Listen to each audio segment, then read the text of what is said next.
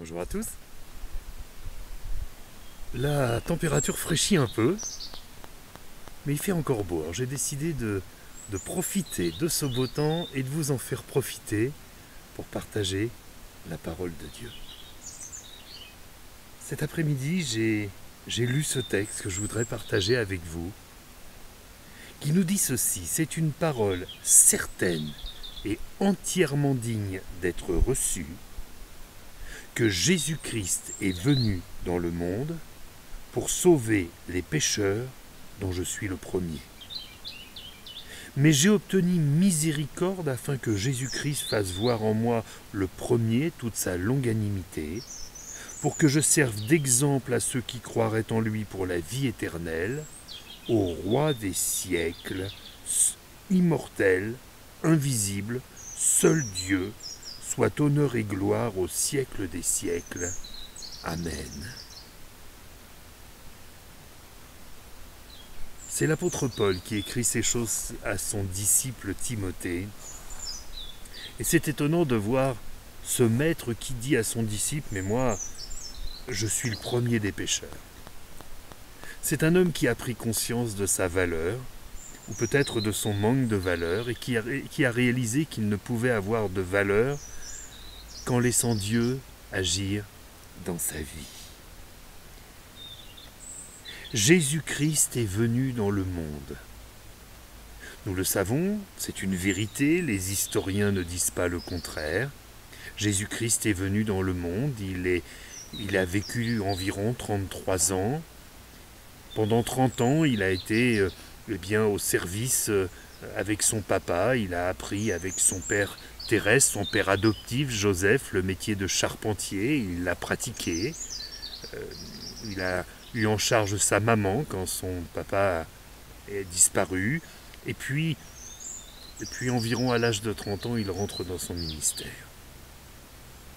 Son ministère qui est marqué par ce message essentiel. Repentez-vous, car le royaume de Dieu est proche le royaume de Dieu est proche, c'est-à-dire le moment où Dieu va se mettre tout à nouveau à régner. Alors bien sûr, euh, sans doute y a-t-il bien des gens qui se disent mais où est le règne de Dieu? Il ne vient pas de manière à frapper les regards.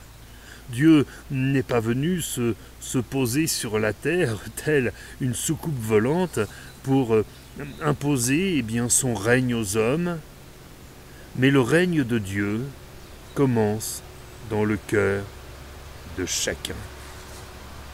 Le règne de Dieu commence à partir du moment où lui dit Mais Seigneur, règne en moi. Quand nous obéissons eh à, à cette demande que le Seigneur veut que nous lui fassions, très étonnant, hein? Nous obéissons à une demande que le Seigneur veut que nous fassions eh bien tout à, nouveau, le Seigneur établit son trône sur notre vie, comme cela aurait dû toujours être. Il règne dans nos cœurs. Mais s'il y a le règne de Dieu, il y a tout d'abord la repentance. La repentance, c'est reconnaître que nous sommes des pécheurs, que nous avons besoin de Dieu et que eh bien, nous n'avons pas été trouvés fidèles par rapport à ce que lui nous demandait. Le règne de Dieu, c'est tout simplement cette possibilité eh bien que lui dirige notre vie, nous amène dans le bonheur qui nous échappe totalement à cause du péché. Cela ne peut se faire que si nous dénonçons le péché. Vous savez, quand on parle de mafieux qui sont des repentis, ils sont des repentis non pas parce qu'ils ont arrêté d'être mafieux, oui bien sûr ils ont arrêté, mais aussi parce qu'ils ont dénoncé ceux qui ont fait le mal. Eh bien, quand nous devenons des repentis du Seigneur, nous dénonçons celui qui nous a fait du mal, l'ennemi, le diable, Satan, mais nous dénonçons ses œuvres, et ses œuvres, c'est le péché, c'est l'adultère, c'est le mensonge, c'est l'incrédulité, c'est la colère. Ce sont les œuvres de la chair. Alors oui, Jésus est venu établir son règne sur ceux qui sont prêts à se repentir, qui sont prêtes à lui demander pardon, qui sont prêtes à écouter sa parole et à la mettre en pratique. Il est venu pour sauver des pécheurs. Il n'est pas venu pour sauver des gens qui se croient irréprochables. Il n'est pas venu pour tendre la main à des gens qui ne veulent pas de son secours. Il n'est pas venu pour soigner des gens qui se prétendent, ils le sont peut-être, en bonne santé. Il est venu ceux dont l'âme est abîmée. Il est venu pour ceux dont l'âme est souillée.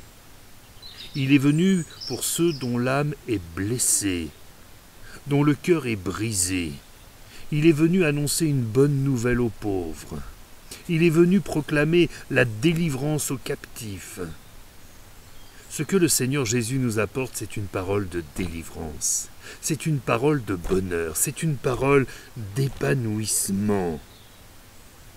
Oui, Paul se réjouit de ce que le Seigneur Jésus-Christ a fait voir en lui toute sa longanimité, c'est-à-dire sa patience, son grand amour, sa miséricorde. Paul, qui était un persécuteur, Paul qui s'attaquait aux chrétiens, Paul qui les faisait mettre en prison, qui approuvait qu'on les mette à mort, a été arrêté par le Seigneur à un instant de sa vie, qui lui a dit Mais pourquoi me persécutes-tu? Mais qui es-tu, Seigneur? Je suis Jésus-Christ de Nazareth que tu persécutes. Et à partir de ce moment-là, il a réalisé que le Seigneur Jésus est véritablement le Fils de Dieu, il lui a donné son cœur. Sa vie a changé. Il s'est mis à annoncer le salut en Jésus-Christ. Quelle merveille Quelle merveille de pouvoir dire, parce que certains nous disent parfois, mais moi j'en ai tellement fait, j'ai tellement péché, j'ai tellement fait de mal. Oh, Paul aurait pu, sans aucun doute, euh, dire ces choses. Pourtant Dieu l'a pardonné. Dieu l'a pardonné parce que Paul s'est humilié devant lui qui lui a demandé pardon. Il n'a pas cherché des excuses en disant oui, mais tu comprends, c'était mon éducation, c'était ce qu'il fallait faire à ce moment-là. Non, non, il n'a pas cherché à, se cacher euh, derrière son petit doigt, dirions-nous. Mais non, il a reconnu son péché. Et dans ce texte, il dit, mais, mais moi je suis le premier des pécheurs. Je suis le plus grand de tous les pécheurs. j'ai fait des choses abominables. Mais Dieu m'a fait grâce. Quelle espérance. Est-ce qu'il n'y a pas quelqu'un qui, à l'écoute de ce message, se dit mais, alors même moi je peux être pardonné? Oui, même toi, tu peux être pardonné. Tu peux être pardonné. Et puis, ce texte se termine avec euh, ce que l'on appelle techniquement une doxologie, au roi des siècles, immortel, invisible, seul Dieu, soit honneur et gloire au siècle des siècles.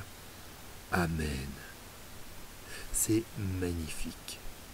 C'est que cet homme qui était persécuteur de l'Évangile, persécuteur de Christ, cet homme qui était un, un, incrédule quant à la grâce, quant à la miséricorde que Dieu a placée en Jésus-Christ, eh bien quand il réalise tout l'amour de Dieu pour lui, eh bien il fait monter sa louange vers lui. Ce que disent ces mots, c'est Seigneur, je reconnais que toi tu es l'Éternel, celui qui n'a ni commencement de jour ni fin de vie. Toi, on ne te voit pas, mais tu es Dieu. Tu fais paraître des choses qui n'existaient pas juste par ta parole. Quand Dieu dit, la chose s'accomplit. Ça, c'est extraordinaire. Hein.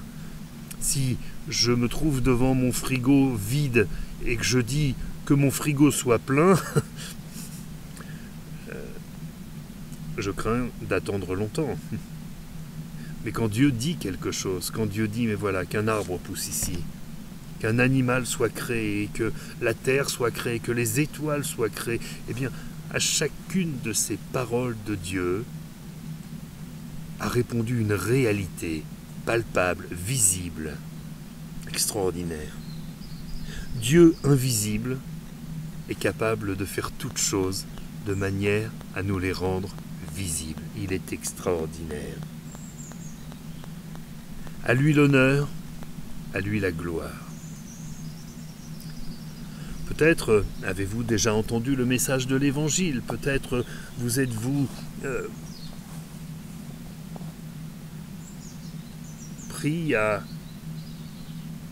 à admirer? Peut-être quelqu'un qui vous a témoigné de sa foi en disant mais oh, j'aimerais tellement être comme lui, j'aimerais tellement être comme elle.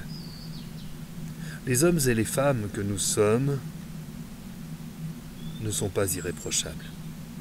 Nous avons tous nos défauts, nos faiblesses, et nous comptons sur la grâce de Dieu, qui est capable, eh bien, premièrement, de nous pardonner toutes ces choses et qui nous aide à grandir, à progresser avec lui. Et puis, il est nécessaire pour être fidèle au Seigneur de chercher l'humilité. Ça veut dire de ne pas chercher à nous glorifier nous-mêmes.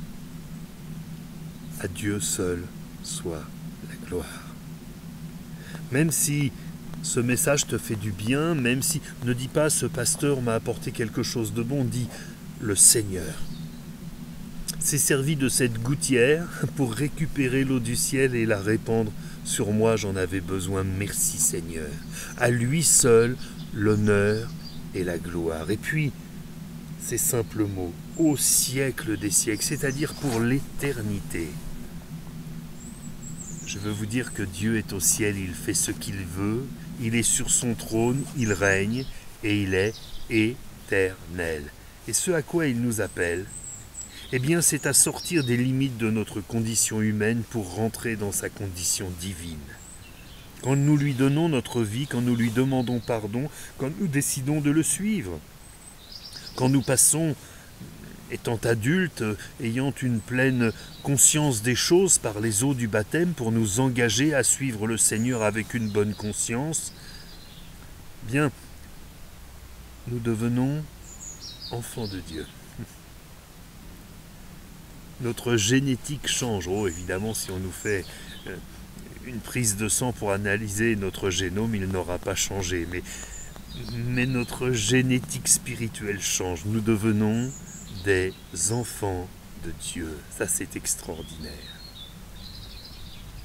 Alors je voudrais vous encourager, tout simplement, à vous approcher de Dieu peut-être à lui demander pardon en disant mais, mais Seigneur, si cette, cette parole est vraiment certaine et entièrement digne d'être reçue, alors moi je veux la recevoir. Tu es venu sauver un pécheur, mais moi je me sens pas très bien, je me sens pas très clean, je me sens pas très net.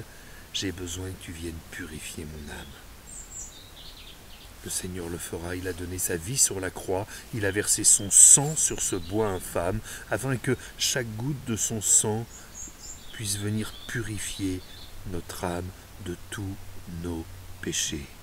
Non seulement ceux que nous avons commis, mais aussi ceux que nous avons subis parfois et qui nous ont souillés. Alors à Dieu seul soit la gloire. Voulez-vous que nous prions quelques instants ensemble? Seigneur notre Dieu, merci. Merci pour cette parole certaine et entièrement digne d'être reçue. Merci d'être venu sauver le pécheur que je suis et d'en avoir sauvé tant d'autres et de vouloir encore en sauver. Tu connais ceux qui regardent ces images, qui écoutent ces paroles. Je te prie, Seigneur, de les sauver à leur tour, de leur faire beaucoup de bien, de répondre à leurs prières. Au nom de Jésus-Christ. Amen. Amen. Que Dieu vous bénisse. À très bientôt.